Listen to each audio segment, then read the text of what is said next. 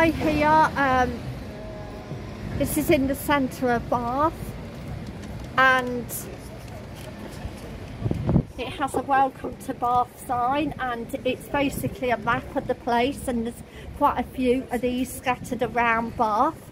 Um, there's a Bath also has a a train station, cricket club, recreation ground, um, Victoria Park, um, lots of different parks.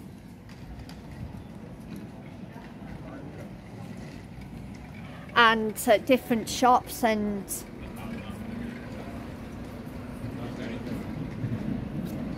and there's uh, another statue there next to the Abbey. Thank you for watching and bye for now. Thank you, bye.